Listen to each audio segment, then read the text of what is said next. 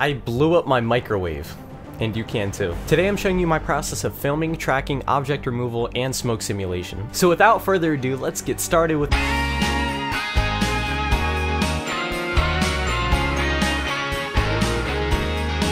I started with my raw footage. There's no real plan for this footage, it was only when I saw the microwave that I knew I wanted to blow it up.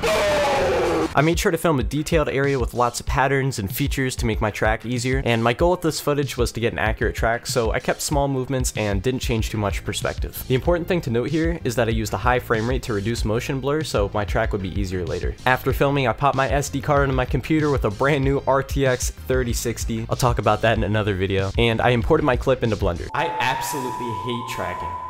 Like, I really wouldn't wish it on my worst enemy, but I refused to use Adobe products, so I dove right into Blender's tracking. Using the location motion model, I plotted all my points, then I solved with a super useful add-on for refining tracking solutions. I'll put the link in the description, and got a pretty good track. This one is really simple. See a microwave, make a microwave, put a microwave inside a microwave, profit. So the thing is, after I recreated objects so they could interact with the door flying off, they were still there because I shot them in the original footage. So the first thing I tried to do is content aware fill them out with an Adobe product product.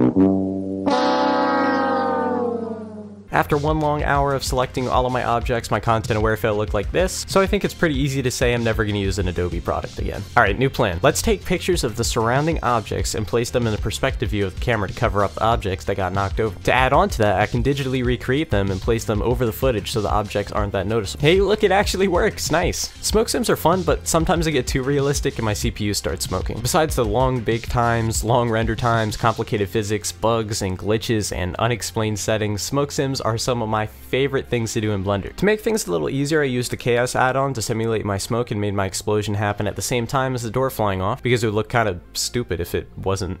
Add in me forgetting to color grade my footage, and boom, here's my final result.